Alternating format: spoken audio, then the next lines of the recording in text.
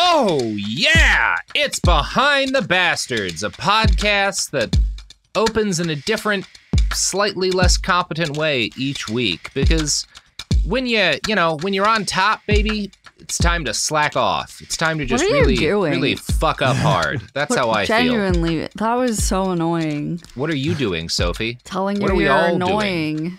Who are we? Where are we? When are we? These are all questions. I mean, I could answer them, but I'd feel like it'd be also annoying. Well, speaking of not annoying, True. Joe Kassabian, our guest, host of the co-host of the Lions Led by Donkeys podcast, author of numerous books of science fiction and one book of non-fiction. Joe, hello.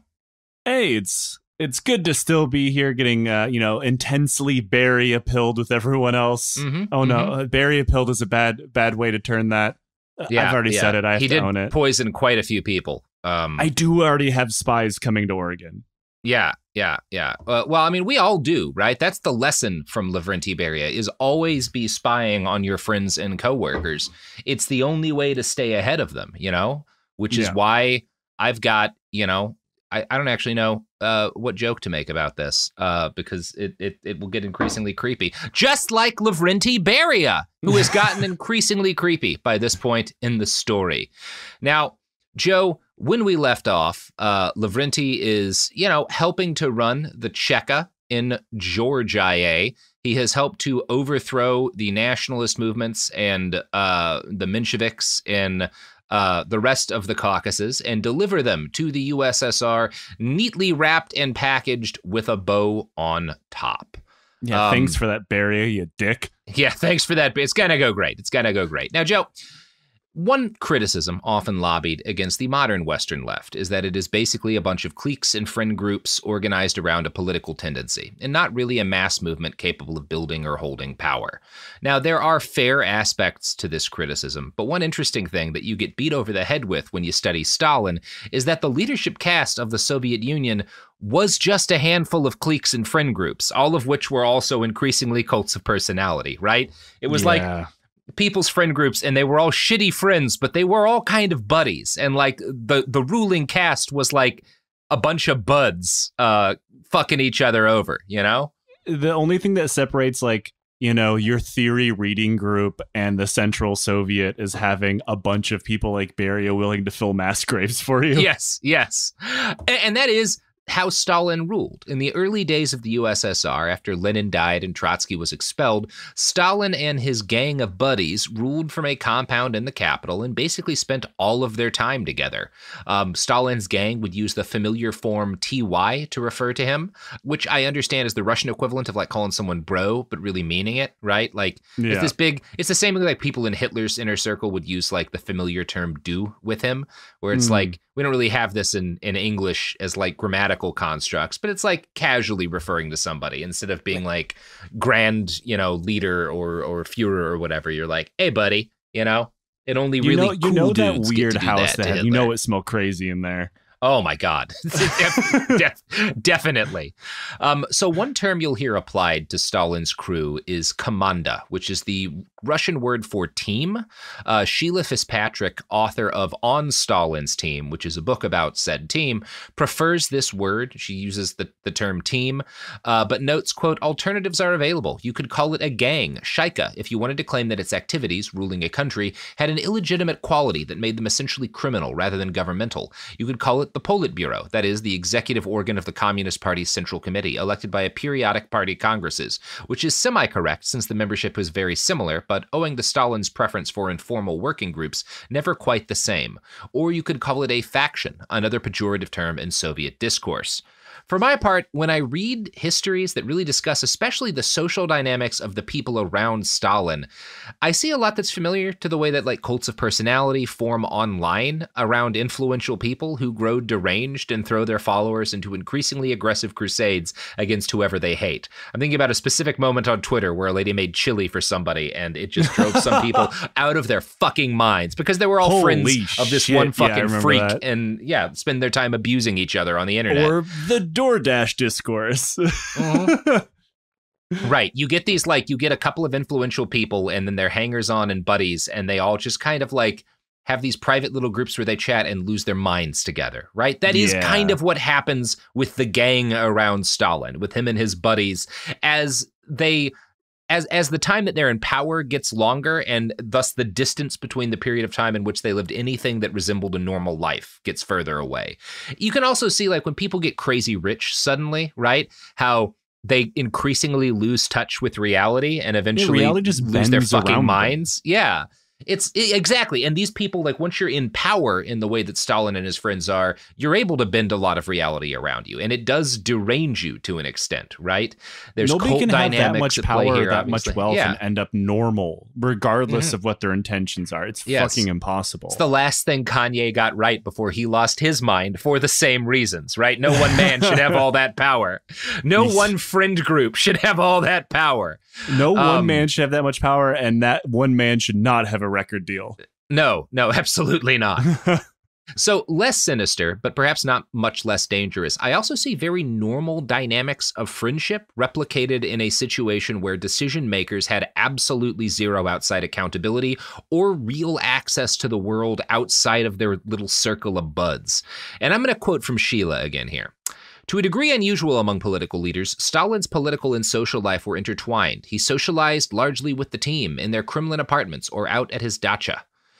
And by the way, when we use the term dacha, this is like a normal thing in it's not just Russia in Russian life, but like I mean it's normal in Ukraine too. Most a lot of people have like a little country house. Sometimes it's just like a little shack or a cabin yeah. that you like go to during the summer. You have a garden there, you know. Um, in Stalin's case, the dacha is like a mansion, you know, but uh, it, it's where you go to hang out on the weekend to get away Not from it my, all. not my people's revolutionary hero in his Soviet It's his mansion. country house, yeah. yeah.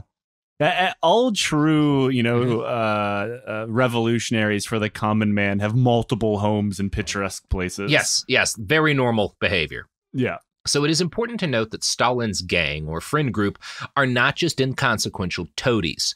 While Stalin always exercised the ultimate power, the men that he surrounded himself with were not just there to like fluff him up. They ran important ministries and sometimes did so competently, right? Some of these guys know what they're doing, at least in some situations. Now, nearly all of them get into positions where the things they have power with wildly exceed their capabilities, right? That happens often. But they all, most of them have actual areas of expertise too, where they're actually reasonably competent, which is why some stuff that, like, you know, the USSR, it's not the Nazis, right? The Nazis, the only thing the Nazi state ever accomplishes is death. The Soviet Union does stuff like, completely reverse the state of illiteracy in in Right. the Russian areas, right? Like it has Yeah. Legitimate the good successes. the bad. Not, It not- not actually is a state. yeah. yeah, not every empire is like black and white evil. Mhm. Uh, The, the, at, at the Yeah. we all like to think of them that way because Yeah. it makes conceptualizing them the much much much easier. yeah. that they never did anything good for their citizens. Yeah. and even the most horrific empires of all time. Yeah. There was a net positive Yeah. for They- people in it for a period of time Yeah. until it hits its terminal decline Right, at some point. right. It's important to remember like the USSR doesn't beat the US to getting a man into space on accident, right? There were things they did well, right? Because Yeah. unlike the Nazis, they weren't just dedicated to murdering everything around them, you know? There were things that were accomplished and it's accomplished by a lot of these guys, right? They're parts of this because they're not bad at everything. So, you know, the kind of core group, what becomes the core group, because Beria is not part of Stalin's inner circle yet, but as you, you know, if you watch the movie Death of Stalin, it eventually includes guys like Molotov of the Molotov Ribbentrop Pact, our buddy Laveria, Malenkov, Nikita Khrushchev. You know, these guys are all kind of coming, they're not all in his inner circle yet, but they're kind of coming together in his inner circle during this All period of time. sitting around drinking and watching cowboy movies, They- which love was doing one that. of Stalin's favorite Well, pastimes. they hated doing that. Stalin loved to make them do that. Yes. It's the thing that he did that I like the most. Like, unironically, that's pretty cool. It's like an ultimate flex. Is we're gonna sit around watching shitty spaghetti westerns. I'm gonna watch you cowboy drink movies yourself imaginable. to like blackout and pissing on yourselves for my own Yeah. entertainment. It's It's kind the of cool. Soviet version of a court jester. Yeah, exactly, The exactly. people's jester. so, for a man of Beria's ambition in this period, rising up the ranks of the Cheka in Georgia and making a name for himself was his like this was not his ultimate goal. This was he saw it as an integral part of his plan to worm his way into Stalin's gang. And Beria was savvy enough to recognize that emulating the great leader's tactics was what was going to help him form his own power base within Georgia and later the USSR. So Beria began to gather a gang of the worst killers and rapists in the secret police around himself. They Oh, lovely. together. Yeah, yeah, he's kind of doing an, a, a, an, a mimicry of Stalin's inner circle, right? You know, he gets these guys together, they hang out together, they socialize, they eat, they drink, they brainstorm new methods of torturing people. Just normal, everyday Yeah. guy stuff. Yeah, just guys being bros, you know? Victor Serge, a Russian Marxist revolutionary who fought as a Bolshevik. He starts out as an anarchist, but he fights as a Bolshevik during the revolution uh, and becomes a critic of Stalin, described Beria and his friends this way The only temperaments that devoted themselves willingly and tenaciously to this task of internal defense were those characterized by suspicion, embitterment, harshness, and sadism. The Chekas inevitably consisted of perverted men tending to see conspiracy everywhere and to live in the midst of perpetual conspiracy themselves. Now, this is part two, and I'm sure after part one, we've already got some weird Soviet Union stands attacking these episodes as anti communist propaganda, which is why I bring up Serge. Most of the lurid details of Beria's crimes come from other communists because that's mostly who he murdered at this point. In fact, Beria's biographers spend a lot of time busting myths about him by other communists because some of those guys were just making up shit about him to hide their own crimes in the post-Stalinist era. Not Serge, though. I, I think he's he's a, a pretty reasonable on the ball dude and we'll stop talking about him soon but i do want to show joe a picture of, of victor serge because my god this guy had look at the drip on this man look at this outfit sophie look at that Oh, Look at that. hell yeah. that he's got like a fucking like fur-lined cape and a military uniform. He's got these like circle glasses. He's got his hair slicked back. Re- like he's just undeniable drip. You can't. he looks like he's go- he's about to fight the photographer. yes, he sure does. He's got that look on his face. just incredible drip. Now, another Georgian, uh, Geronti Kikodze, described Beria's Chekists this way as, quote, men without kith or kin, who in most cases knew no trade, had no education, and were skilled only in espionage and murder. Some were sadists by nature, some entered the service as insurance for themselves. And this is definitely in line with how most people want to view the kind of humans who carry out crimes of this nature. But I don't really think it's broadly accurate. It's, it's at least, I mean, there's some guys that that is absolutely a fitting description of who are in the Cheka, but it doesn't fit everybody. Biographer Amy Knight tells the story of a Cheka man named Schulman, and it's like S H U L uh, apostrophe M A N. He was responsible for guarding prisons and carrying out executions, and is known to have murdered at least 300 people with his bare hands. Good Um, God. Like I don't know if he was strangled, like like, but like personally killed 300 people, right? I mean, like, at- once you start hitting the hundreds, you, he probably switches it up just to keep yeah, yeah, yeah, yeah. You want to avoid getting like the murderer's equivalent of tennis elbow, Right. um, murderer's niece. Um, Get the Tommy John surgery because you blew out your elbow, killing political yeah, dissidents. You get yeah, you get fucking carpal tunnel because you're strangling so many dudes. Doctor said I got to do a knife next. Yeah. it's a medicinal gutting knife. so, despite this, and contrary to Kikodze's description, um, Schulman was a family man. You know, outside of his murdering job, he's known as being like a pretty good husband and father, um, and seems to have been, he's described as being inclined by nature to just be a bureaucrat, a paper pusher. He was so not naturally suited to being a killer that in order to psych himself up to execute people, um, he had to, quote, and this is Knight writing, created himself the necessary bloodthirsty mood of the commandment of death by narcoticizing himself by every means available and bringing himself to a complete state of insanity. So he basically he has to get fucking blackout drunk to murder people, right? Because he just doesn't squad like it very equivalent of a berserker. right, right, right. I mean, that's also like, a lot of people want to believe the most simple thing, most easily, uh, most thing easy for them to understand to them as a normal human being is like, well, Yeah. I wouldn't do that. No one I know would do that. Only insane, bloodthirsty maniacs would do something like that. And that is just demonstrably untrue throughout history. Yeah. Whether it be dudes in the Cheka, the SS, Einsatzgruppen, uh, Gestapo, you name it. Like the Yeah. vast majority of people are normal, and that is why Right. it's terrifying. It's That's easy to think of them as all bloodthirsty psychopaths, but the reason why it's scary is because it's it could be your fucking neighbor. Yeah, and there are don't don't get me wrong. There are a number, a higher number than average in an average group of people among the Cheka, just like the SS, are fucking bug fuck nuts. Oh, But absolutely. not most of them at any given point in time, because there just aren't enough of those normal people. people. Yeah, Yeah. You like you need more people than just the crazies to get all this killing done. You know. Now we don't know how many people Beria had executed in Georgia during this period. Former Chekist Dumbadze, a major source on Beria in this time, estimates that about eighty percent of executions were never publicized. Right, so there was we we just will not know how many people were killed. One of the bloodiest moments in Beria's tenure came after a rebel leader, Valiko Jugeli, uh, was captured. He had been planning a revolt, and once he gets captured, he begs the Cheka, hey, let me tell my comrades don't do this. Like, give up trying to fight the state. It'll save a lot of lives. But Beria is like, no, no, no. We want we want there to be an uprising. Because when there's an uprising, then we can kill a bunch of people, right? Then we can actually get rid of these folks rather than letting them lie dormant in the state. Right. And for a few days, this revolution carries off, and it's like a Menshevik uprising, right, against the Bolsheviks. It has a lot of, particularly in kind of like the rural and areas outside of the big cities. It get they, they hold a, a decent amount of territory for a while, right? Again, mostly in these areas where the Mensheviks had been dominant. But by September of 1923, the Cheka had cracked down, arresting the ringleaders, and Beria made an offer to the arrested prisoners as they awaited execution. You are defeated, but the fighting continues here and there. You, the committee, are able to stop these armed detachments. Make a declaration urging these isolated detachments to put down their arms, and on all, our side, we will not harm them. We will stop all arrests and mass executions. I feel like that was a lie. Mm-hmm.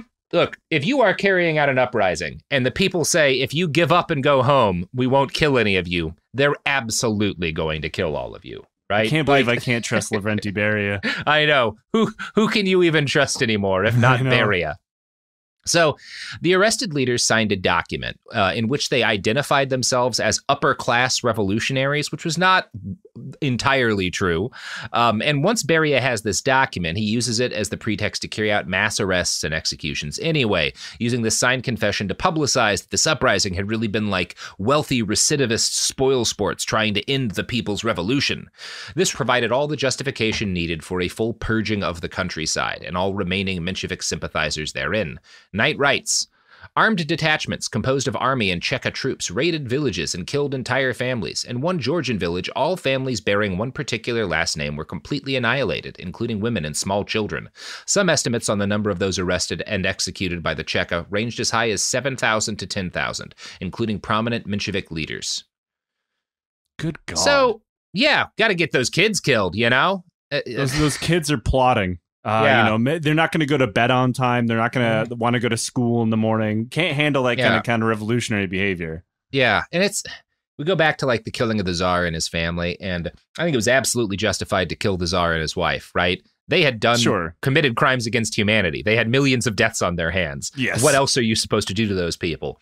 But when you kill their kids, and I, I've heard the counter argument that like, well, you know, these people had been so brutalized by the czars. If those kids were alive, they would have been a threat to the revolution. And like, I understand how that logic can take hold, but the the unfortunate reality is when you start your revolution by murdering kids, you tend to keep murdering kids. Yeah, that, that wall has been broken down. Yeah, They're- they're- yeah. Like that taboo no longer exists, eh, even though it should. And like you know, there there's there's troubling parts of history that were like you can simultaneously understand the motivations of a group of people while also saying Yeah. that was incredibly fucked Yeah. up.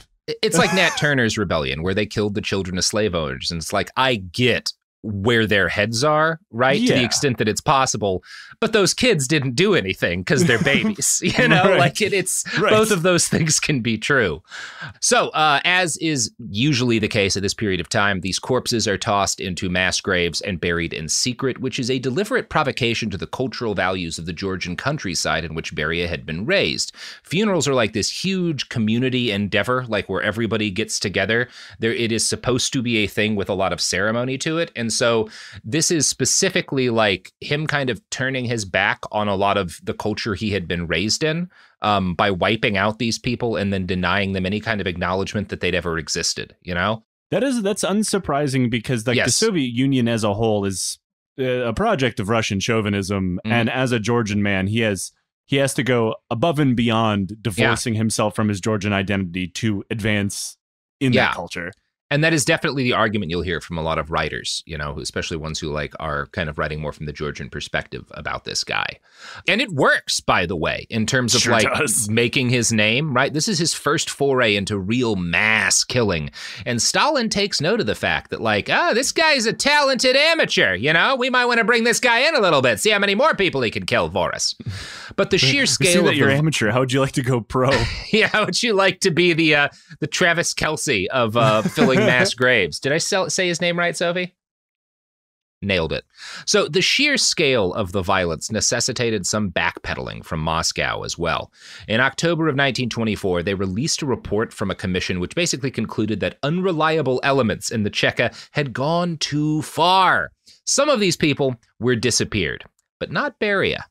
For the next three years, through 1926, he would have his men shoot at least 500 communists who were allegedly too close to the old Mensheviks for the new regime's comfort. Beria was promoted in 1926 to chairman of the GPU, which is the current name that the secret police that had succeeded the Cheka were under. I'm still going to wind up calling them the Cheka some. It's the GPU now. You get it. We don't need it's to. the same thing. It's the same diff, baby. Uh, he survived at least one assassination attempt, and according to some accounts, rather heroically fired on the people trying to kill him to allow several other wounded Chekists to escape. He receives an award for bravery. Who knows if this is true, right? Doesn't sound like him, to be Doesn't fair. sound like him. He also owed much of his success to the man who was his superior for a good chunk of this period, Sergo Ordzhonikidze, uh, who I will not be saying that last name anymore. We're going to call him Sergo from now on. Good- Uh, good and call. Sergo, Sergo winds up in Moscow around 1927 with this coveted position, right? Like he's a he comes up, you know, from the from the the the sticks essentially, gets this job in Moscow, and he's close to Stalin, right? So he is going to be the first kind of prominent guy who's going to feed praise, this like solid drip of praise about Beria to Stalin. And it's Sergo who ensures that Beria doesn't get punished for this massacre of the Mensheviks when a bunch of other people do. And in return, Beria is going to exhibit what's what's his primary and undeniable skill, which is kissing ass, right? this man licks boots with the best of them, right? There there very few people have ever licked boots to more of a shine than than fucking Lavrenti Beria. Uh, he names his son Sergo after this guy. he sends him letters filled with oily praise, including lines like your trust in me gives me all my energy, initiative, and ability to work. Without you, Sergo, I would have no one. You are more than a brother or father to me. You're my lover. Just like six pages of describing his cock follows. They they just settled down and explored each other's bodies. Mm-hmm. yeah, yeah. Then they get married. yeah, he's too old Um, for for Lavrenti. Mm-hmm, hmm That that is definitely true.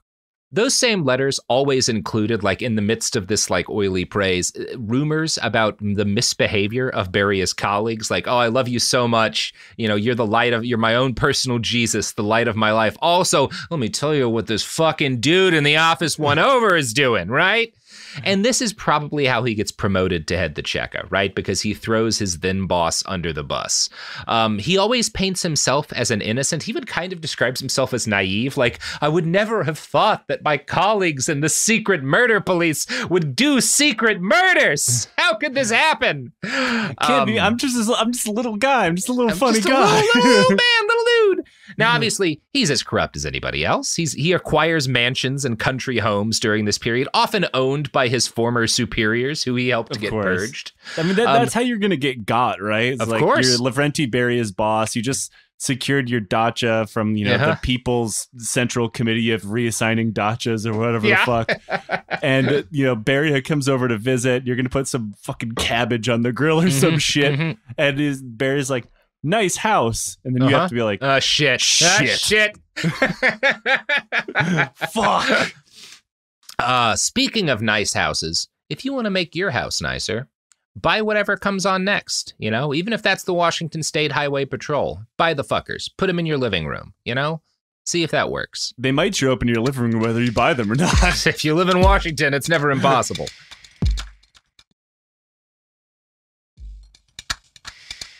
And we're back. So, the abuses that Beria and other high ranking men in Georgia carried out generated enough complaints that in 1929, Stalin and Sergo ordered another committee investigation. And I'm going to quote from Sangster's book here.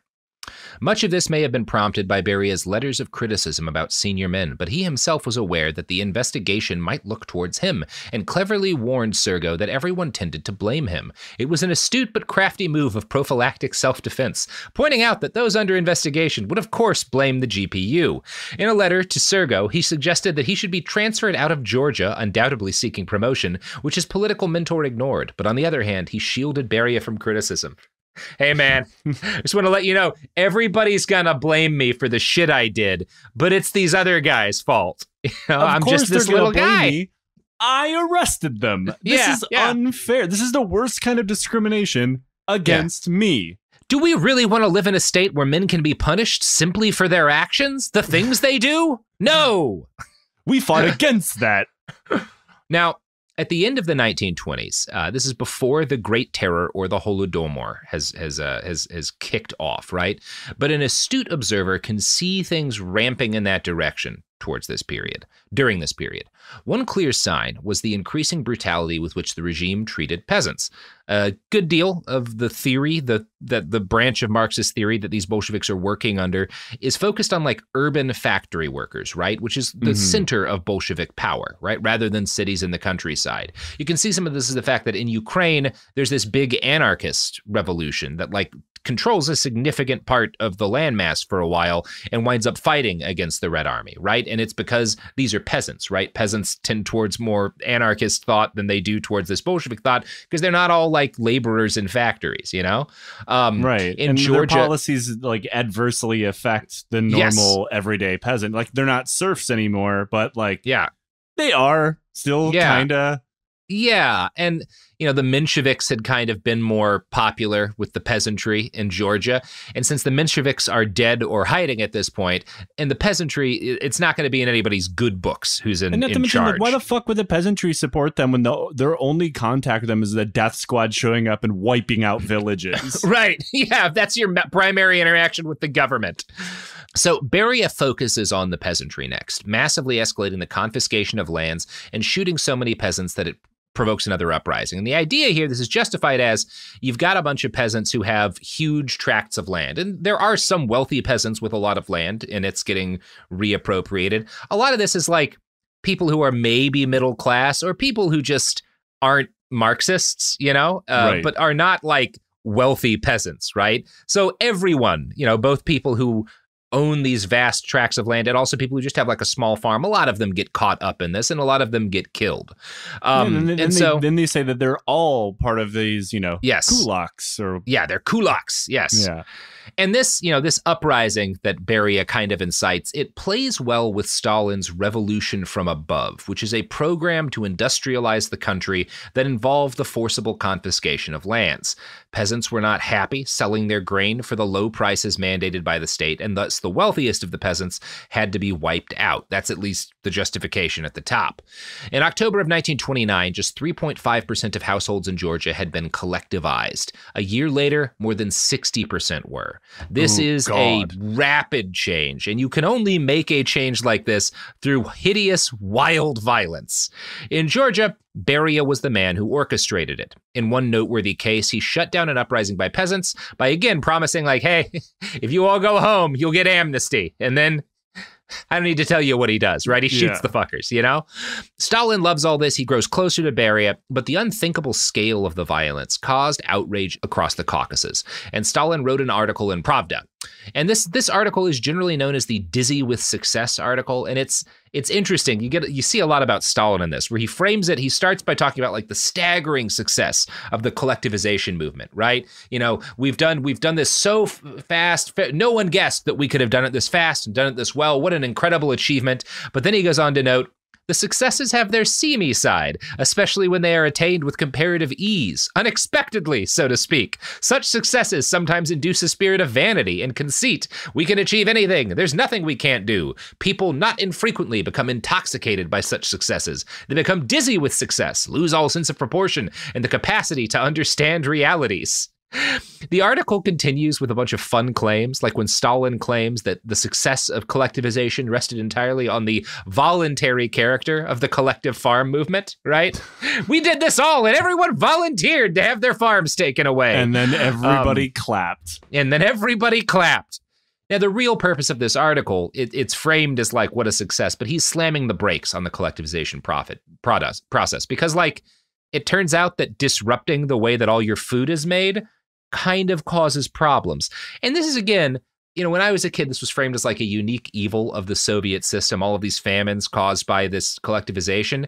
This is not wildly different from what the East India Company does in capitalist terms in India right. in the late 1700s, which kills 30 million people. It's this idea where you get guys who are not farmers, who don't know shit, but are sure that the farmers are dumb ingrates who don't yeah. know the most efficient way to do things and decide to just change everything about from the this, top. But I'm sure you're doing it wrong. Yeah, exactly. exactly. And when you do that with where all the food comes from, you're going to have issues, which is why they need to slam the brakes on this shit uh, to an extent.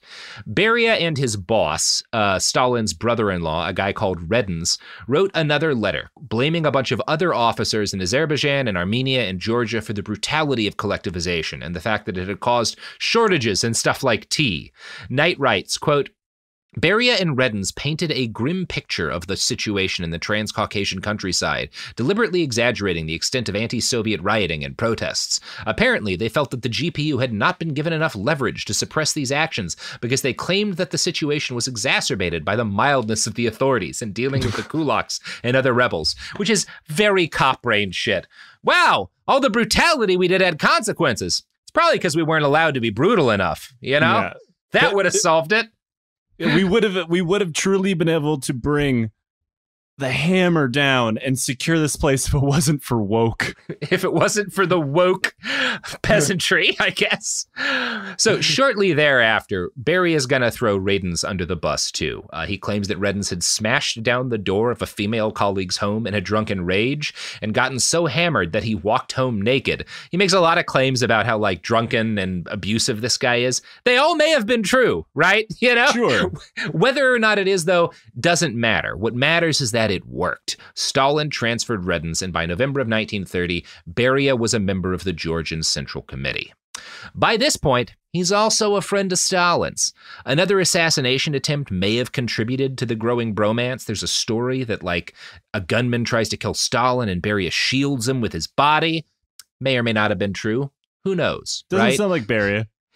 also, though, it would sound like Beria to have a guy try to shoot Stalin, like so he can throw his body in front of the leader, right? Yeah, um, to like yeah, orchestrate. I don't know. Just Maybe high, you know? Yeah, fake gun. Who knows?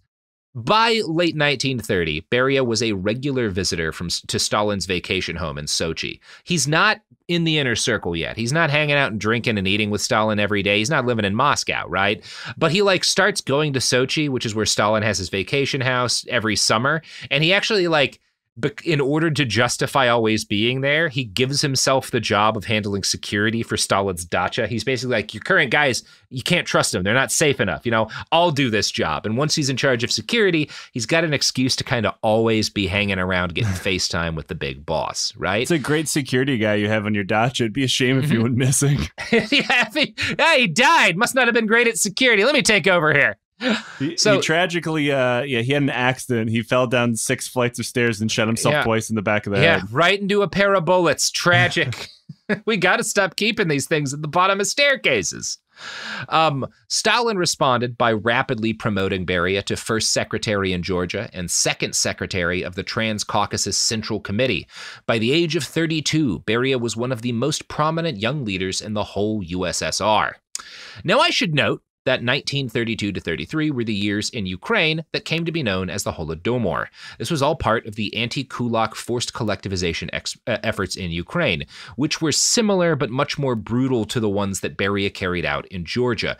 Beria killed thousands, maybe more. The Holodomor kills between three and a half to five million Ukrainians, right? Yeah. I don't think we're ever going to get a super precise death toll because of how it's carried out. But it is a hideous, hideous time. And I, I don't mean to be papering over it. It's just, it doesn't really deal directly with Beria. It, de- it does in that he is doing a lot of the same stuff to Georgia, but obviously it does not lead to the same death toll in Georgia that it does in Ukraine.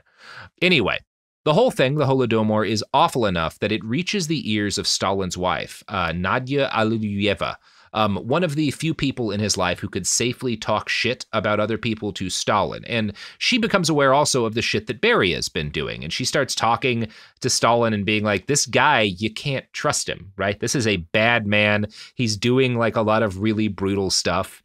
And it's it's interesting because like one of the things that has happened in this period of time is that by the late 20s she's grown tired of being locked away in the Kremlin with the other wives of powerful men. And because you know, one of again, one of the real accomplishments of the Soviet Union is that women's rights improved dramatically to where they had been in the Tsarist period. Now, we are not yeah. saying there's any kind of real equality, but it's much better than it had been under the czars. And because the new Soviet woman was supposed to have agency, was supposed to be able to have a career, Nadia's like, look, Stalin, I'm not just going to stay in the fucking Kremlin being your wife. I want to go get learn to do something. And so she goes and becomes a chemistry student. She enrolls in college. Now, the students that she's becoming friends with don't really know who she is. They certainly don't know that she's Stalin's wife. Otherwise, they would not have been saying some of the things that they start to say to Nadia. God, New imagine contact- being invited over to a house party with your like your friend's uh, your your friend's house, and it's like, oh, this is this is my husband. Like, you look from oh fuck. Oh no. Oh no. gotta go. Uh, I really don't want to watch cowboy movies. I, I really gotta go home. New contact with young students brought Nadia information about the reality behind the Holodomor and the bloodshed that had backed up her husband's collectivization policy. She went to Stalin eventually and told him he was butchering the people. Stalin responded by arresting her new friends, or rather, he had Beria arrest her new friends, and Nadia God. fell into a deep depression, eventually taking her own life. As shitty a husband as he was, he seems to have loved, maybe the wrong word, but like after she dies, it is generally agreed that things get a lot darker with Stalin. Um, he gets a lot crueler. It does fuck him up to some extent. I don't know how you want to translate that in terms of love or not, but it has an impact on him. Maybe the closest and, thing Stalin was capable of of fondness for another yeah, human being. That seems to be the case. The fringe group slash cult around Stalin in the Kremlin increasingly shuts out the rest of the world after this point, as Sheila Fitzpatrick writes. He socialized largely with the team, and their Kremlin apartments are out at his dacha. This was true in the early days of the team, when his wife Nadia was alive, and he and many of his colleagues had young children, and continued after Nadia's suicide in 1932, when the team and his in laws from two marriages provided virtually all of his social life, which focused around his dacha. He was a lonely man after Nadia's death, and even lonelier after the Great Purges broke up his surrogate family of in laws. His daughter, Svetlana, was left for company, but that ended when she grew up and married during the war. The company of the team became all the more important to Stalin after the war, and participants have left memorable accounts of the awfulness of enforced nightly socializing at the dacha, now, in contrast to the 30s, without wives and children, and the burden it imposed on the team. So that's kind of, you know, Sheila's account of sort of how shit with Stalin shifts. But you see, some things are always true, which is that he is always isolated with this group of people, this ever kind of shrinking circle of people. And when Nadia's alive in the early days, it's a broader circle. He doesn't have total power over everyone yet. He's not killing everyone he has a disagreement with. And increasingly, after the case with her, some people will argue this feeds in a lot to the Great Terror. I don't know how much credence you want to give that but it is generally agreed that he becomes darker and crueler after her death and also lonelier yeah. you know I, I, mean his his circle is growing increasingly smaller more insular yeah and his last real connection with you know what you'd consider normal people being students that his wife went to yeah. school with yeah. uh, where you know he considered treasonous whatever it was they mm-hmm. said so I can only imagine the horrific feedback loop that happens in these yeah. dudes dudes weekends out at the dacha. It doesn't these do not get to be more fun as parties. Yeah. No. Much worse parties. They've graduated from being like the fun, happy, drunk, or like dude mm-hmm. who doing club drugs or whatever to like yeah. the dude doing heroin in a dark basement alone. Yeah, yeah. So, uh, Beria is again not yet a member of Stalin's close friend circle, nor again is he a factor in the Holodomor. He is strictly a regional leader at this point, and that would not do for a man of his ambition. Uh, he is, however, close to Stalin, a trusted toady, and he's going to be working at getting into that inner circle, which he knows is going to require living in and around the Kremlin. So Beria set himself to, uh, up to slide into position there the only way he knew how, with his unparalleled skill in bootlicking and also his willingness to commit murder. In 1934, he was elected to full membership of the Central Committee of the Communist Party, and this marks his entry as a national level figure in the USSR. And we're going to cover what happens after that. But first, Joe, you know who's not a national level figure in the USSR? I would assume the the advertisers of products and services available to us. It, it would be weird if they were, right? It, it would be it would be weird if they were, you know. Soviet this Union brought to you by. Central Factory Number 16. yeah, the what was it? The Lada? I forget which car they made. oh fuck yeah. yeah, yeah, yeah. Um, I'll have to I'll have to cut in the right name for that fucking car. Anyway, buy a fucking car. Here's some ads.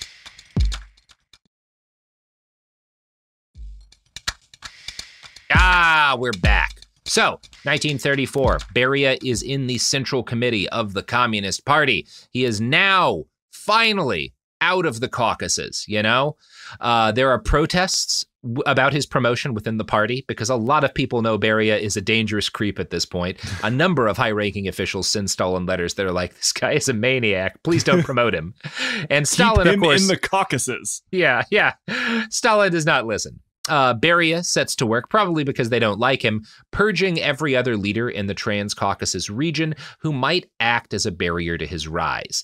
And this means he's killing all of the veteran communist organizers who had, like, brought the revolution to the Caucasus in the first place, you know? That is, again, when you talk about it, and it, it, to be fair, even most of like the tankies I know will say that Beria was a piece of shit. Now I think they go too far in saying like everything bad that happened during Stalin was Beria. You know, you do Yeah. run into that sometimes, but like I have occasionally come into like people who try to rehabilitate Beria. I think they are in a minority even within that set because again, all the people he's murdering are good Bolsheviks, right? Like Yeah, that is yeah. his primary victim here. Well, and a bunch of peasants, right? But he he's he does kill like all of these people who had done the revolution, you know? You started from the Um, bottom, now you're dead. Yeah, exactly. Um, in Azerbaijan, he also presides over a massive increase in the productivity of oil wells in the Caucasus. Uh, in Stalin's personal life, he becomes a gopher, using his position as head of the Sochi security to repeatedly visit and do small favors for his boss. He becomes like Svetlana's babysitter from time to time. Oh, that's creepy in retrospect. Yeah, horrible babysitter. Do not let Lavrenti Beria watch your kid. You know, not not good. No, no, don't Um, do that. Knight writes, quote, photos of Beria and Svetlana taken when the latter was young convey a proprietary manner on Beria's part. In one photograph, Svetlana, who appears to be about nine or ten years old, is perched uncomfortably on Beria's lap. Judging from her expression, she did not enjoy being in his possessive grasp, particularly at her age. Who would? Uh, Who would? The And- only there, there's never been a human being that's enjoyed the touch of Lavrenti Beria. No, no. And like, look, she is analyzing a photograph. That's not a thing you can say objectively, but having looked at those photographs, she Svetlana does not look like she wants to be on that lap. not a fan. There's not many laps I would like to be on, but I especially Mhm. wouldn't want to be on Lavrenti Beria's lap. No, no, no, no. Just just Lee Pace. Um, so the closer he got to Stalin, the more Beria came to understand his boss, and particularly the fact that he was a massive narcissist, right? At the 17th Party Congress, Stalin had received fewer votes to continue heading the party than he had expected. Now, he still easily wins re-election, but the fact that he doesn't win it by as much as he had thought he would triggers, if you know anything about Jay Stahl, pretty paranoid guy. And this really, really jacks his paranoia gland into overdrive. The boss begins to rant about double, double dealers within the party and complains to Beria that he stood alone. Beria responded by making himself head of Stalin's unofficial, but actually very official cult of personality. Sangster writes, Beria ensured Stalin's picture appeared everywhere and arranged a new monument over Stalin's birthplace in Gori. He even went so far in this obsequious behavior to bring Stalin's mother to Tbilisi, where he and his wife took care of her. When Stalin visited his mother in 1935, it was with her carer Beria. He was making every conceivable effort to ingratiate himself in the leader's eyes and behaved like a courtier looking after a dowager empress. he like he takes care of his mom for him. Like, he becomes a nurse for Stalin's mom to get in on his good side. That is ace level toadying. Man, that is like some Mr. Smithers shit. That's dedication to the craft. yeah. You have to respect the toadying. Yeah. What if what if Smithers had a one hell of a body count? Yeah, right. Like, what if Smithers was killing people left and right? We don't know that he wasn't. We yeah, it is kind of implied in a couple of episodes. So that, actually, that is true. yeah. Despite being Georgian himself, Stalin had not been a very significant part of organizing actual Bolshevik groups in Georgia right? This is not where he is primarily active. Um, and he is profoundly insecure about this fact, and in fact, hated the Georgian communists who had actually done that work. Particularly, though, he hated the Marxist historians who insisted on writing accurate histories of the Bolshevik movements in the Caucasus. And Those that is motherfuckers. Not, if you want to talk about an unsafe job, writing accurate histories of Bolshevik organizing in the Caucasus in 1931, right? you do not want to be doing that, bro. Playing Russian roulette with your own citations. yeah, yeah. This starts in late 1931 when Stalin himself wrote a letter to an academic journal to complain about an article critical of Lenin written by a historian with the incredible last name Slutsky, spelled Fuck exactly yeah. like you'd Hope. Exactly like amazing last name. Dude's rock. sounds like you like it literally sounds like you're accusing him of being a slut and being a little racist against Russians, but that's just his name. Amazing stuff. Beria took note of this, and he launched a series of attacks in the mid 1930s against historians who had written histories that didn't center Stalin. One of these guys later had to go before the party congress and apologize for leaving Stalin out. In a very funny turn of phrase, he claimed that when he'd written the book, Stalin's role in the Bolshevik movements in the Caucasus, quote, had not yet come to light. we weren't telling uh, yes. this lie yet when I wrote the book. I, uh, you, you didn't give me the cliff notes of your last cult meeting. I didn't know I was supposed to fake this. That is so fucking funny. You love to see it. Oh my god. So, Beria published public challenges and attacks against objective historians, many of whom were purged later. He also hired a writer or writers to author a history book, which he took credit for. The book had the banger title, On the History of Bolshevik Organizations in Transcaucasia, which, I don't know, Joe, you and I are both title guys. I don't call that a good one. Um, no. Mm-mm. I mean, no. maybe like a mid-level, like young adult no. book, sure. I would have used the title "What's Transcaucasian? My Bolsheviks." You know, that's pithy. That's got some. That's got some bounce to it, right? So this book posits a wholly new view of Bolshevik history, wherein Stalin was the main organizer and figurehead of the Bolshevik movements in Armenia, Georgia, and Azerbaijan. Now, the book is fucking nonsense, as this passage by Knight makes clear. Beria attributed to him an incredibly active role in practical revolutionary work at the time that he was still a student. Thus, Beria's book stated that in 1898, Stalin led no fewer than eight workers' circles. By the seventh edition, the number was increased to 11, and also organized a large railway strike. As the historian Bertram Wolfe observed, these were rather remarkable feats considering that Stalin was enrolled at the Tiflis Seminary, where students were virtually kept under lock and key. Beria's claim did not accord with earlier accounts about the same time period, including one given by Stalin himself. Beria's history asserted that Stalin was leading a large movement. In fact, the Georgian Social Democratic movement was overwhelmingly Menshevik, and as one observer pointed out, Stalin had only a small following. Quote, he succeeded in gaining only a few adherents, rarely more than 10 supporters, whom he would quickly organize into groups or clusters, giving immediately the grand title of committee. So that, that rules so hard. Um, it's like very a group funny. of historians and Beria slides this book up in front of you. He's like, "Go ahead, prove yeah. me wrong." Yeah, yeah. I fucking yeah. dare you. Yeah, let's do some peer review, guys. what do you think? Uh, nobody even cracks the first page. Mm-hmm. Like, looks good, boss. It's good. It. Good stuff. Good stuff. Yep. Red stamp. Do you need a jacket quote? need a blurb. Yeah. And why don't you just write it and sign my name to it? We're good. and again, so you know, today, if you were doing this in a revolution, you would just use Chat GPT to to generate because no one's gonna read this fucking thing to generate your bullshit book about how Stalin did everything. Yeah. In this case, you had to get ghostwriters, and I Beria would later say there were multiple ghostwriters. He says this when he's like being tortured, basically. So who knows how many there were? It's generally agreed that at least one of the guys who wrote this book was a real writer, not a historian, just a writer named Bediia B E D I I A is the anglicization. Um, and this guy, So Beria has Bedia write this book for him, and then he has him shot in 1937. He uses I the Great Purge as a cover to kill his ghost. He makes him a literal ghostwriter. God, nobody tell James Patterson this. Yeah, I think James Patterson is already doing this. Yeah. Great work on the Pelican Brief 3. Why don't you come into my office for a second? Turn your back, look out this window. I'm just going to rummage around in my desk for a second. If you hear a click, don't don't stop looking out the window. Close that suspiciously thick door behind you when you come in, please.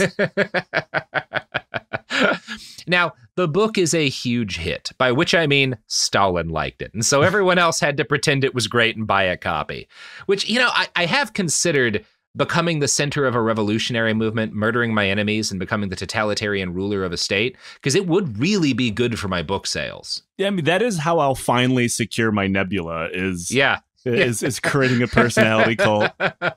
All of the other writers are dead. Congratulations. You have no choice but one vote. Mm-hmm. yeah.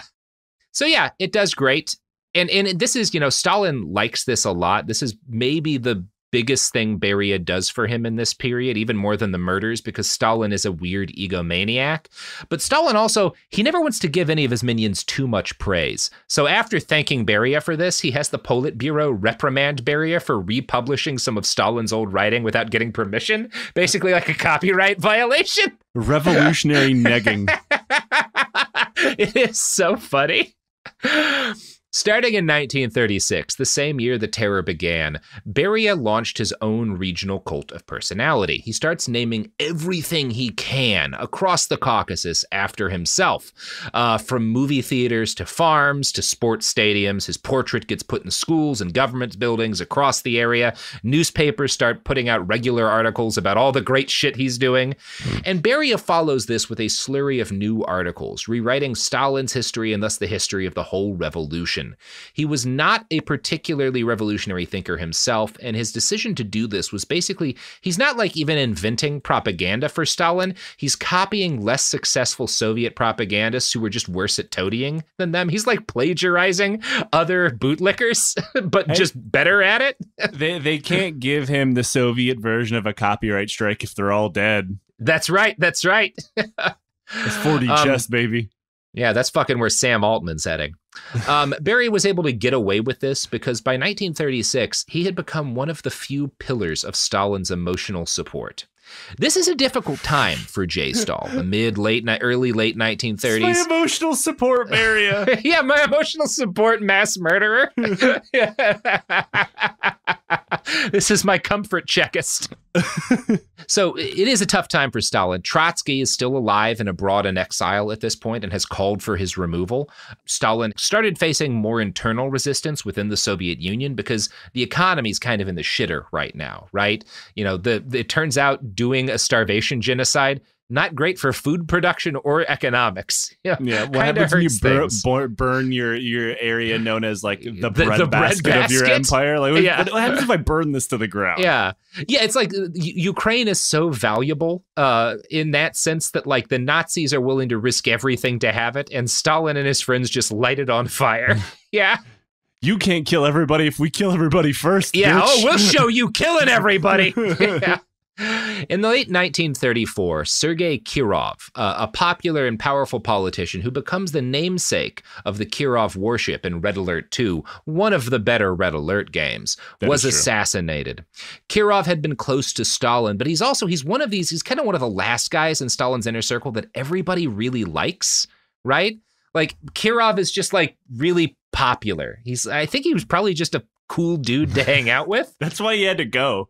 But he's killed mysteriously and like there are theories that it was Stalin who did it. Most of the historians I've read think that that probably isn't what happened, but it's not impossible because of how popular he is. It wouldn't be against Stalin's later behavior to have this guy right. murked. There can't be a cool guy in the group. Yeah. It's also some people will say Beria probably kills Kirov, maybe on Stalin's orders, maybe he's doing it for himself. We we don't really know, right? This is still a mystery today. You can read a bunch of theories on it. You know, I'm not I'm not competent to say what's most likely. Um, but he's dead, and this is going. This causes a huge uproar. From one thing, because this guy is so popular and so powerful, there's legitimate paranoia on behalf of everyone that's Stalin or the people around him. But like, oh shit, who's next? Right? They can get Kirov. You know, assuming Stalin didn't do it, Stalin's literally like kind of scared because they were able to kill Kirov. You know, Right. We don't really know, but um, the NKVD, which is what the secret police go by at this point, spends 1935 carrying out an investigation, by which I mean they torture a shitload of people until said people admit that they had been plotting to kill Stalin, and that's how Kirov got murdered, right? It's unclear if there was really a plot. There may have been. It wouldn't be weird if there had been a plot to kill Stalin. No, all right? these fucking people are always plotting. Right, exactly. But this is the pretext that Stalin needs to tell the NKVD to really ramp up the mass arrests and murder of everyone who'd ever looked at him funny. Now, Kirov's death came at a great time for Stalin. The economic collapse that followed collectivization had done a lot of damage to his standing and to the Soviet Union. And in some ways, the Great Terror comes out of the like you could also you could you could and a lot of people do basically say that the terror kind of starts in the reaction to Kirov's assassination, right? That's what gets the balls rolling that that become the Great Terror. And in some ways, it's a great distraction campaign from the problems that Stalin's government is having at this period of time. And it also allows him to consolidate his power, which is a big part of why so many people think he he killed Kirov, right? Because like, well, it kind of it kind of works out for him, but like as we all know with 9/11, things can work out great for a mass murdering piece of shit and they didn't necessarily start the process, Yeah, you know? something can blow up in your face and you still take advantage of it. Yeah, exactly. And these guys are all I mean, the only reason these people are alive is they're skilled opportunists. Like Stalin Right. and Beria are both very good at taking opportunity of of events that occur, you know? Starting in 1936, uh, the NKVD begins jailing and killing people who had been influential Bolsheviks. Um, a lot of them were people who had just been close to Stalin. Like anyone who had been his friend that he knew well, in previous periods, he kills a lot of people just because they knew too much about him, right? At least that's kind of the way you'll hear this described. A lot of them wind up in camps, the infamous gulags, and the only people who are spared are kind of his current friend group, guys like Molotov and Kaganovich, right? Now, I say spared, but it's worth noting even the guys that he's close to who don't get killed or imprisoned often get charged with something at some point. Mol- Vyacheslav Molotov is indicted for the killing of Kirov, right? And I don't know if it's because Stalin legitimately didn't trust him for a while, or if he's like what he did with Beria when he like gives the copyright strike to him, if he just wanted to make sure Molotov wasn't too comfortable, right? Yeah, So there's a he had to know his place. That Right, you, you're, right. you might be the foreign uh, minister, but you're not untouchable. And he's not at this point, by the way, um, Oh, okay. the foreign minister yet. Um, we are t- we will be talking about that process. But like Molotov gets indicted for killing Kirov for a while, but then he gets dropped from the indictment. And when he comes back into favor, he's added in. In retrospect, he was like, "Oh, they were going to kill Molotov." You know, that's how Molotov knows that things are okay when he gets added to the list of potential victims. They get a retcon his personal history a bit. You know, it's it's, it, it's a Molotov rebuild. Like you can't make fu- uh, other except for the horrible body count. Like it's all really funny. Like these are the Stalin and his inner circle are the messiest bitches in history. Yeah, like, it's amazing. It's, the cruelty of the absurd and the absurdity Mhm. of cruelty uh, Mhm. in one incredibly annoying group of dickheads. yeah, it's interesting to me that like as horrible. Maybe it's just because he didn't get all that long in power. Hitler's in power a little more than a third of the time that Stalin's in power, right? Like 12 Mhm. years, you know? Stalin's like 30. It's interesting to me that like Hitler has the Night of Long Knives. He does have that one big spate of purges. And then maybe it's just because the war starts so soon after and he really can't afford it. But like he doesn't, we don't have the same kind of purges of Hitler's friends that you get. People fall out of favor, they lose jobs, but he doesn't do the same thing Stalin does in terms of like absolute clean sweep. And maybe it's just because you know the war is on and he can't really afford to start massacring his friends like that. Uh, He also did like Um, targeted purges. I mean, like Yes. uh, especially like after the assassination attempt with, uh, and then Yeah, you know he took Yeah, yeah, out yeah. a ton of people, and then even Yeah. people he was kind of remotely suspicious of, like Rommel, for example, Yeah. which has never been completely solidified if he was in it or Right. not. a little like, unclear. and Hitler's always Yeah. was very, very jealous of him because of how popular he was. He's like, "Nah, Yeah. man, you got to kill yourself." Yeah, I kind of do think that if Hitler had like either hadn't done World War II and had stayed in power or had somehow won, like he would have wound up doing a lot of this stuff himself. You oh, know, fuck yeah. you, you probably There- would have, but he no just way doesn't around get it the because he was intensely Yeah. paranoid. Right, right, and everyone around him is a piece of shit. You know, Yeah.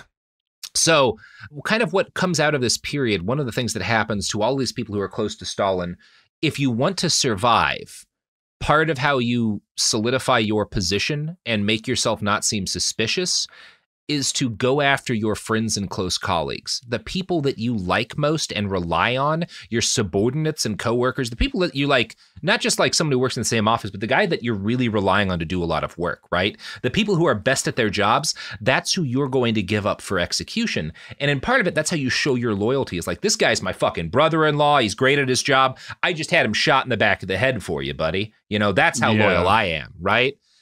What independence the Politburo had had faded away at this point. Terrified, they passed a resolution to permit torture during interrogations, which was already common. There are field executions ordered by the NKVD, uh, and they start assigning arrest quotas in 1937 using the same troika system originally pioneered by the Cheka. So, like this, the same way Beria is doing shit in in Georgia in his early career, this becomes how the Great Terror is executed. And previous to the Great Terror, the Bolsheviks had had a lot of people purged, obviously. We were just talking about that.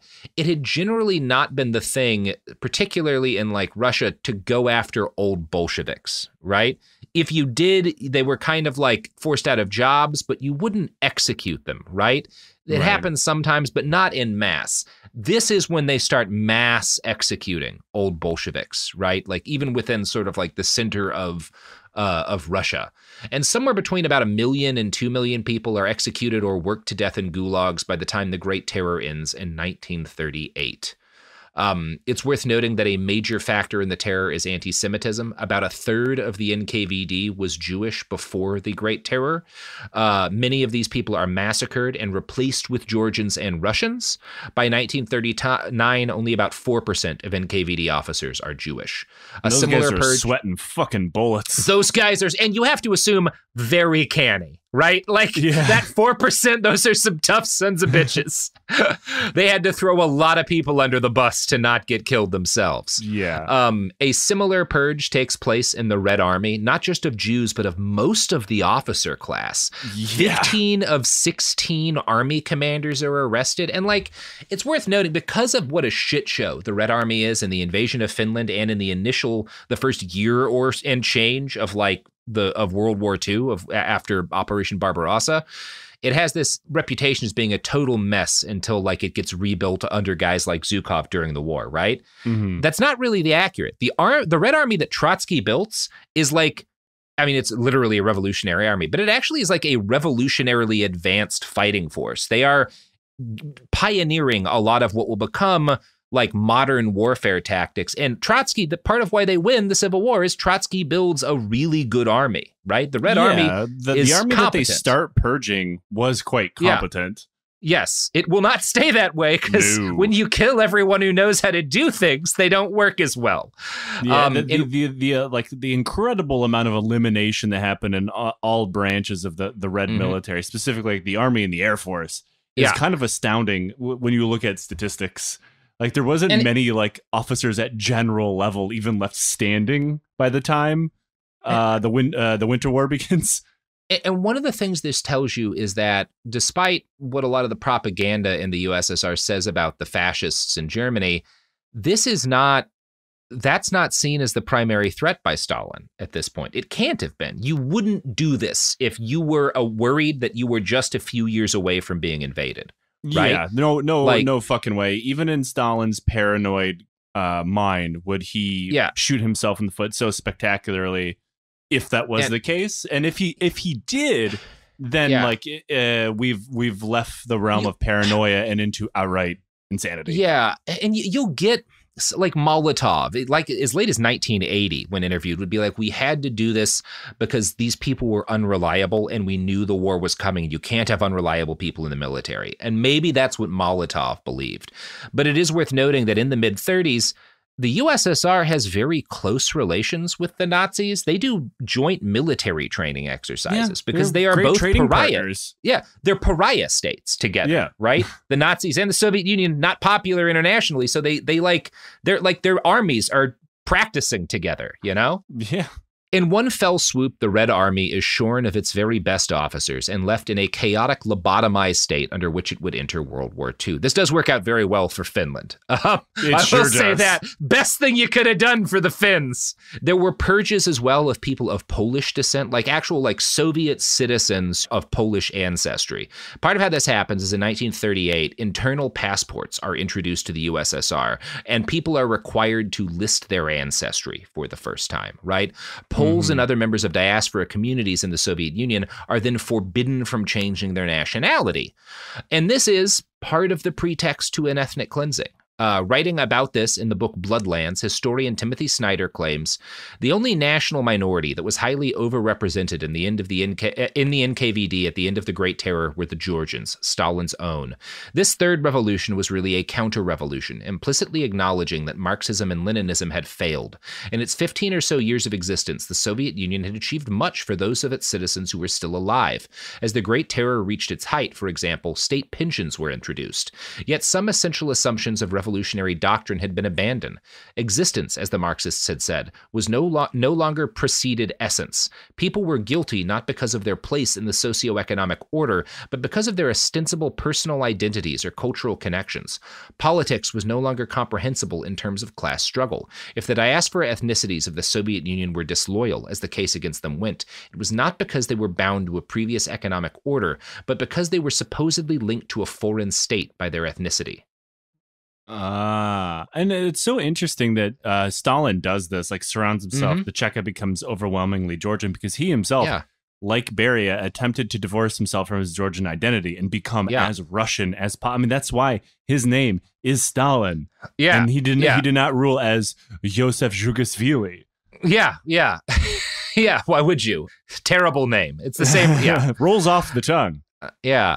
Now, Beria is again not yet head of the NKVD. The job during the Great Terror, the head of the NKVD is this insanely violent dude named Yezov, um, or Ezov is how it's spelled in some of the books. These are Anglicizations, right? Like because his name is not Right. written in, in the, it, that way. Like it's written in a totally different set of characters. So Beria is a major figure in the organization, though. He rises to deputy commander of the NKVD by 1938, which is generally like agreed upon as the last year of the terror. And of course, he was leading the secret police in Georgia during this time. So he is a part of the machinery of the Great Terror, but he's not directing all of it. Now, some of the books I've read, I think Knight's book makes this case, um, argues that he personally informed on a number of Red Army commanders and orchestrated a significant part of the process of purging the Red Army. One Soviet official later claimed after World War II that, quote, the Beria clique had picked up a giant crystal vase containing 82,000 of the best, most experienced and qualified commanders and political workers in the Army and Navy and smashed it on the rocks. Mm. Now, that's true for what happens to the Army and Navy. It, I would say, it seems to me, at least based on what I've read, again, not a historian here, that that's an overstatement of Beria's role, right? Because he's not right now. And again, some people will say he was kind of putting the the the whisper in Yezov's ear, and he was a major figure in this. The officer that Beria is most often accused of informing on and getting killed is this general level officer, a major figure in the army that the Germans had also leaked information on. Like the German, the Nazis basically claim that he had been spying on the government for them because they want this guy out of the way because he's a competent commander, right? They know what's going to happen next to him. Yes. Other accounts I've read paint Beria as just as terrified as everyone else on the Central Committee. You know, he is doing this, he is having people killed and stuff, but not because he is wanting to orchestrate a purge as much as because he's scrambling to save his own ass. And he's kind of, it's kind of a miserable period for him under this version of events because he's having to burn a lot of people he trusts. You know, he's having to throw a lot of his good subordinates to the wolves. And he's not, he's not sad about that because it hurts him emotionally, but he's sad about that because like useful people are useful and he's having to kill a lot of useful people, you know? Yeah. And that that causes problems for him down the line. Um, I want to read a quote from the book On Stalin's Team by Sheila Fitzpatrick here. It was one of the conventions of the process that when there were arrests in your own bailiwick, you had to sign off on them. Well, what could you do? Voroshilov had to supervise the purging of the military, though he was not happy about it. Zhdanov, Khrushchev, and Beria, the last two not yet Politburo members, were doing the same in the regions they headed, though they did it under local NKVD direction and without particular enthusiasm, since it was their people they were purging. So again, that's kind of the two pictures of Beria, and you, you, both can't be true, right? One is that he is masterminding aspects of the terror. He's really into it. He's a major role in purging the army because he sees it as, you know, benefiting his own consolidation of power. And the other is, well, he's wrapped up in this like everyone else, but his primary motivation is trying not to get killed, right? And I think that's both why could be a little true. Like he, aspects of both, sure. Yeah, yes. like I mean, the, I I do believe in that one thing that you were saying before, like proving his loyalty through brutality of close yeah. and important people. And he's doing that because uh, I, I, think anybody in the Soviet Union is seeing how wildly spiraling this violence is getting, and it's coming for everyone. Yeah. So it's like I have to like go into overdrive doing what I was already doing before. Yes. To save yes. my own fucking ass. Yeah, exactly. And I, am not one to give Beria any benefit of the doubt, but there's no real reason to believe he was not just as terrified and wrong footed as everyone else was by this whole nightmare. The Great Purge hit most heavily at the second tier of the political hierarchy in the Soviet Union. In other words, the men who were a level below Stalin's team and the Politburo, which are nearly one and the same. Hmm. Two thirds of the 1934 Central Committee were killed in the purges. Beria himself uh, was not protected by close daily association with Stalin, to the extent that that even protected you, and he did come close to being annihilated. He was nearly arrested in the midsummer of 1938, but was warned ahead of time and flies to Moscow to make his case directly to Stalin, and this apparently works. Now, it's unclear to me the degree to which Beria influenced Yezov's behavior working as his deputy, but my guess is he tried to stay as clear of the man as possible. At this point, he's been through several rounds of purges, and he knows that, like, after the violence subsides, the people who were doing the killing, there are going to be scapegoats because then the government has to kind of apologize. Stalin has to backpedal a little. That's the way this process works. And the last thing you want to be is the guy at the head of the NKVD when that happens. Yeah, you right? want to be the next guy down. you so want to be the next yeah. guy down. So when they all get wiped out, like time for yeah. my promotion. Now, one of the funny, so Yezov in a lot of the writings, specifically on a lot of the like writings by Soviets who were survivors of the purges, when they write about Yezov, they'll call him the bloodthirsty dwarf. And I had assumed at first, like, well, is he actually like a little person? No, he's just five foot tall. Right, that's why they call him that, just, which isn't even guy. all that short for the period. You know, just a little guy. he's a little guy. He is a little guy, right? Um, and he was generally seen as being terrible at anything but cruelty. You will hear some people who will argue, actually, he was like kind of a thoughtful, quiet dude, and we were really surprised when he murdered all those people. I don't know. I didn't know the man. After the terror died down, though, he was forced out. He's eventually executed. And in 1938, at the very end of 1938, Beria had been put in his place as head of the NKVD. Some of Stalin's trust Robert, in Beria. Beria is five eight okay. So he's a he's taller, but he's not a little bit taller. tall. I mean, he's not going to be starting on the Soviet basketball team anytime no, soon. No, no, I just don't think that that's like you know tiny. It's weird to call him a dwarf for being that's five what I'm saying. Tall, right? Five yes, I, I, think like we can all agree by that. Yeah. height. yeah, that's a perfectly like. Uh, that's uh, fine. well, no, no, no. They're calling Yezov a dwarf because he's five feet tall. Yeah. No one calls Beria that, but it's weird like, to me that they call Yezov that because like five feet like my grandma was five feet tall. I mean, I'm you know, six three. I could person, call Beria a bloody dwarf. Yeah, bloodthirsty dwarf. Joe's, Joe's like, I- will do it. I'll mm-hmm. take one. Yeah. I'm coming. Uh, I'm stomping out the Caucasus Mountains for revenge. Some of Stalin's trust in Beria was surely the result of the charm campaign that Beria was still waging on the boss. Knight writes, quote, in 1937, Stalin failed to attend his mother's funeral in Georgia, Beria acting as his surrogate, making the arrangements and presiding over the ceremony. God, Whatever the reasons for Stalin's absence, it was not only a terrible insult to the memory of his dead mother, but also a shocking breach of the cultural and societal tradition in a country where veneration of the dead is accorded the highest importance. Beria was then not simply a sycophant who gained Stalin's favor by insidious means. He actively encouraged Stalin's neuroses and his his sense of self alienation, stirred him up as no one else could do. Stalin depended emotionally on Beria, who was at his side constantly from the early 1940s onward. Beria acted as the unofficial toastmaster at Stalin's endless dinners, which all members of his inner circle were required to attend, forcing the guests to consume large quantities of alcohol and making crude, scatological jokes. What a cool group of dudes to hang out with. Beria was just a bit guy. He was a bit guy. He loved a good bit. Stalin's a bit guy too. You know, his one of his favorite things was to shove a tomato in someone's pocket, and you had to pretend you didn't see him put the pot- tomato there, and then he'd smash it, or you'd sit down and squash it. Oh He God, he's a prop comic. He's a prop comic. Look, this is why we should execute Carrot Top. I've been saying this for years. I mean, these days that's gonna be one hell of a fight. Yeah, no, he he he is he would be tough to bring down. That man, that man Um, is more trend than man at this point. So I fa- I fact checked the Yezhov height, um, and Mm. I just want you to know that he is described as four foot eleven and one half inch. Oh my god. Yezov added that one half inch. I I just want you to know he there's a cou- Okay. as, as from my experience, there's at least a couple inches added there, but they do add Yeah. that he was also called the Poison Dwarf, which is really oh, that's cool. way cooler. Which is Mhm. really cool. That That's is, that way pretty dope. That is pretty dope. Eh. Um, It's just a don't know. hair metal band fronted by Gimli. yeah. Yes! Ah, Oh, that'd be so cool. oh, shout I'm on board. Shout out Gimli. yeah. He never poisoned anybody that we're aware of. Oh, he. No. De- uh, I mean, John Rhys-Davies definitely has poisoned at least one person. That's why Sliders got that last season. I don't think he was even on the show at that point. Actually, Oh, he one of He's my working behind the favorite- scenes. Gimli Yeah. gave us one of my favorite movie lines of all time. Toss me. You're going to have to toss me. You're Don't gonna have to tell toss the me. elf. That's what he's into. He just likes being thrown. I Mhm. know.